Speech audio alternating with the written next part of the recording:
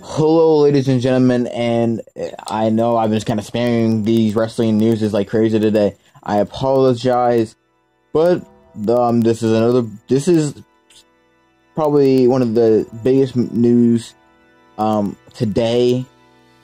Um, that is pretty interesting, and I really have some opinions about it on how this would go and how this would work.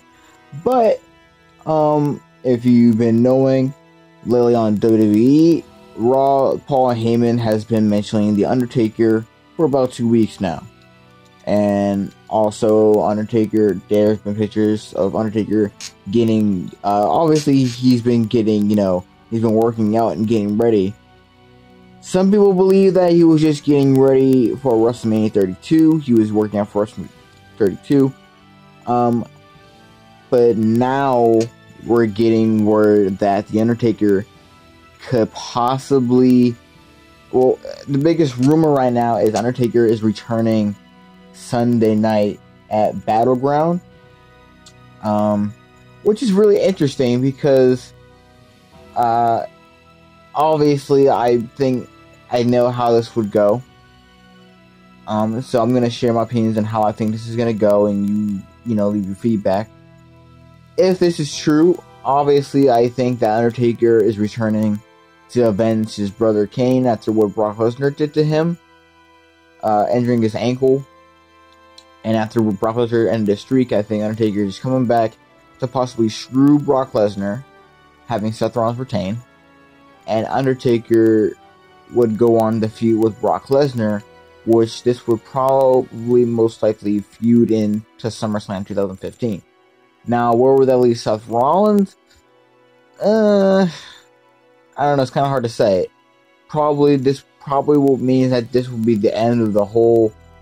I'm thinking maybe this will end the rivalry with Bray Wyatt and Roman Reigns, and we could see Roman Reigns versus Seth Rollins at SummerSlam. Like we have a good five weeks to work with this, so if it does go the route storyline wise, they have time to develop that storyline so it's believable. So we could see Roman Reigns versus Seth Rollins at SummerSlam if that's the way I think it's gonna go. So we could see Seth Rollins versus Roman Reigns for main title, and we could see Brock versus Undertaker, a rematch after Brock Lesnar defeated the Undertaker streak. So for Undertaker, this could be getting revenge for his brother and getting redemption after you know losing his streak to Brock Lesnar. So two things to why this could be happening.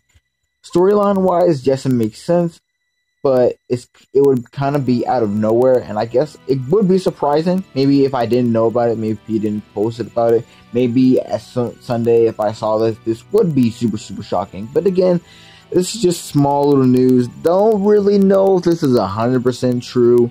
I guess we won't really won't know if this is hundred percent true till Sunday. But this is the biggest news going on right now.